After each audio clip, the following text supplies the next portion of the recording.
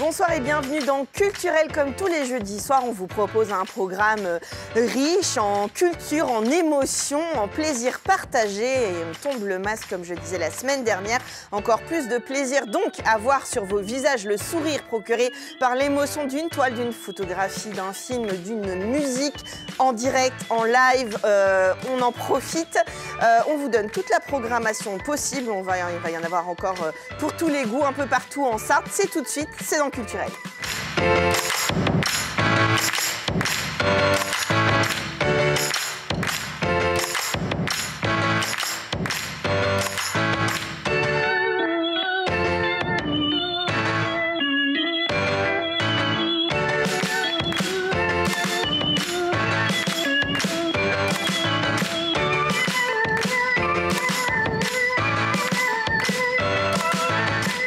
C'est un habitué du plateau. Pourquoi? Ben Parce qu'il organise des super trucs en, en Sarthe. C'est à Saint-Ulphace. C'est euh, Patrick Marty. Bonsoir. Bonsoir. Euh, vous êtes donc directeur du Centre musical international de Roussini. Vous organisez le tremplin de la chanson ce samedi 26 mars à 20h en prémisse, on va dire, euh, du festival francophone qui, dont la, deux- la seconde édition aura Oui. lieu les- du 10 au 12 juin prochain. Mais ça, vous reviendrez nous, nous en parler. Bien sûr. Euh, là, vous organisez une soirée euh, tremplin de la chanson euh, avec Matt et Adonis, qu'on a le plaisir d'avoir euh, en visio, à qui on va pouvoir donner la parole dans quelques instants.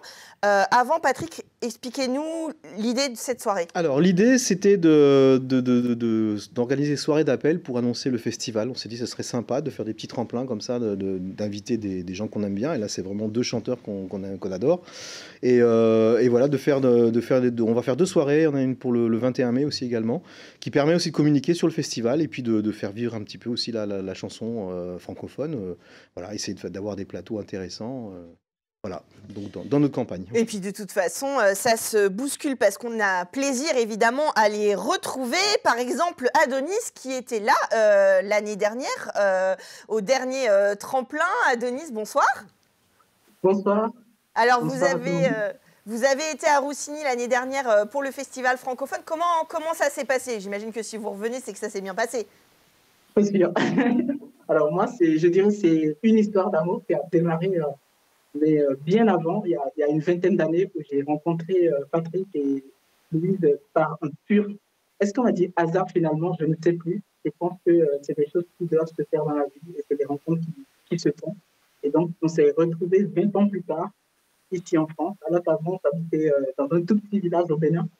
Donc, pour moi, voilà, retourner à Saint-Culphat, pour moi, c'est toujours un peu une histoire de.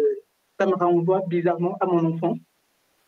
Et donc, je dirais que c'est une belle histoire, une belle histoire d'amour.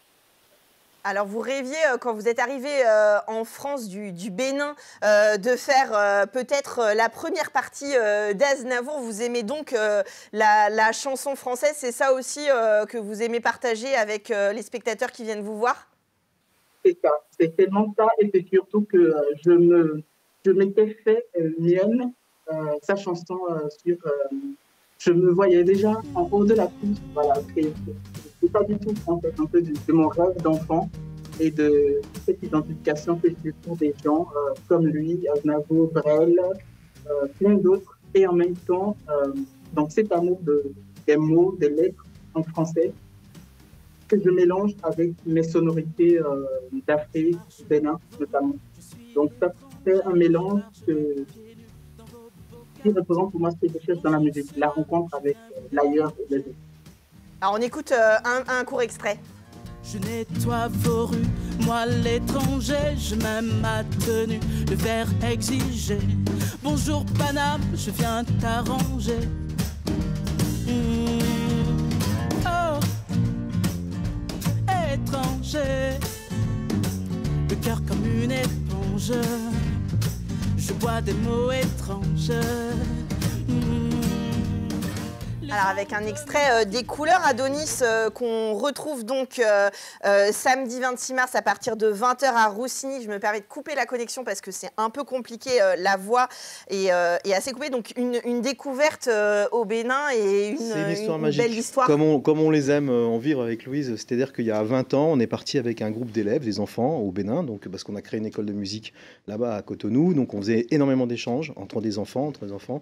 Et puis on a, on a été joué dans un tout petit village au, cœur du Bénin, 30 euh, km de, de piste, en pleine brousse.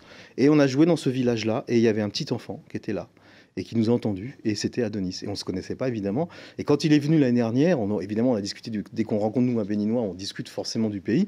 Il me dit, ben voilà, quand j'étais petit, il y a des Blancs qui sont venus dans mon village avec des instruments. Et, et c'est absolument magique et tout. Je dis, mais attends, c'était nous, quoi.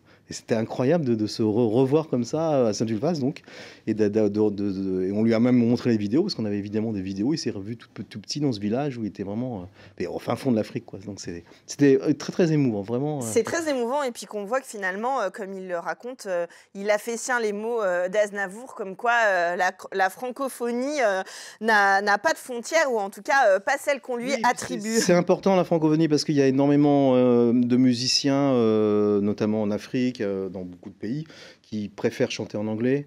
Et c'est vrai que le, bah, voilà, il faut, il faut combattre un peu le, pour la langue, quoi. Mmh mmh et c'est important de, de, trouver des. Il y a très peu finalement de, de chanteurs ou chanteuses africains qui, euh, qui écrivent en français. Hein. Donc euh, lui, il écrit en français. Il bah, écrit ses textes. parfois, ils s'affranchissent aussi euh, d'une culture un mm. peu compliquée de, de, rapport avec les Français. Et, et c'est dommage parce que. il y, a eu, il y a eu, mais pas, il y a eu une période dans les années 60. il y avait un grand, un grand chanteur qui s'appelait Gégé Viquet, par exemple, au Bénin, qui chantait des magnifiques textes en français. Il y a eu des, des choses, puis ça s'est un peu, un peu disparu, quoi. Donc mm. voilà. Donc quand on tombe sur un jeune, on les revalorise.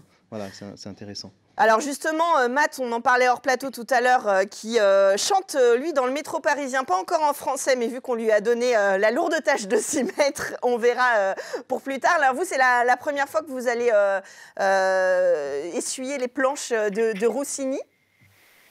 Oui, exactement. C'est la première fois que je vais, je vais, jouer, je vais jouer à Rossini, même si, comme Adonis, je pense que je connais Louise et Patrick depuis, depuis très longtemps aussi.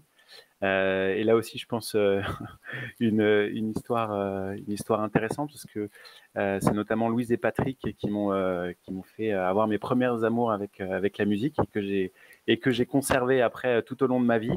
Et donc voilà, je leur dois je leur dois beaucoup, notamment voilà pour cet amour de la musique.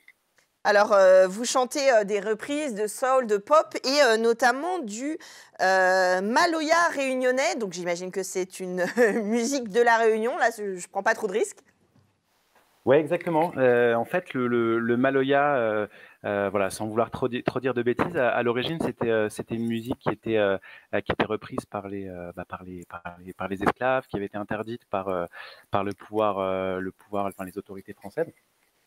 Et donc c'est une musique qui a été remise, euh, remise au goût du jour et un petit peu popisée euh, même, euh, même dernièrement. Et voilà, moi pour, pour raconter toute l'histoire, j'ai une connaissance qui m'a initié à cette, musique que j'ai trouvée vraiment très très belle et voilà et très très riche aussi dans les, dans les, dans les paroles, dans les mots. Et, voilà, c'est ce qui m'a tout simplement donné envie de, la réinterpréter de mon côté.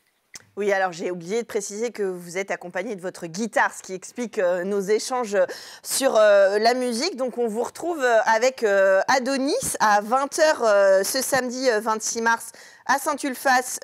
donc c'est dans la Sarthe, au Centre musical international de Roussini. Il y aura une deuxième soirée le 21 mai, c'est ça que vous disiez mai, voilà, avec une chanteuse peut-être que, que, tu connais qui s'appelle Aléa, qui est, qui est du Mans et qui donc il va venir aussi animer la, soirée euh, complètement différente. Donc voilà, on essaie. Et puis on, va peut-être une deuxième partie, on n'a pas encore trouvé, mais euh, voilà. Donc on et puis après, on enchaînera sur le festival où là on a vraiment une très belle programmation cette année. Alors, euh, du coup, on vous suit sur, sur Facebook, le Centre musical international de Roussini, Smir Saint-Sulface, sur votre site internet. Et puis, on peut réserver, réserver. On peut acheter les places déjà sur Eloasso. Tout sur est, tout est ouvert. Et euh, le prix des places. euh, C'est 12 euros et 8. 12 Voilà, et 8. ça, ça vaut le coup de Voilà, le préciser. Pour deux artistes à chaque euh, fois, donc un beau, deux beaux concerts Voilà, vraiment. euh, Un beau plateau euh, Ouais. artistique, euh, allez-y, c'est joyeux, c'est festif, vous pouvez y aller en famille. Si vous connaissez pas encore le centre, c'est un très beau lieu à découvrir. Merci Patrick Marty, puis Bah, merci de, dire à très bientôt. Bah, très bientôt, bah, on est appelé à se revoir, je pense. Bah oui, c'est ça, quand on fait de la belle culture en Sarthe, forcément, on passe sur le plateau de culturel et nous, on continue euh, tout de suite euh, en cinéma cette fois-ci.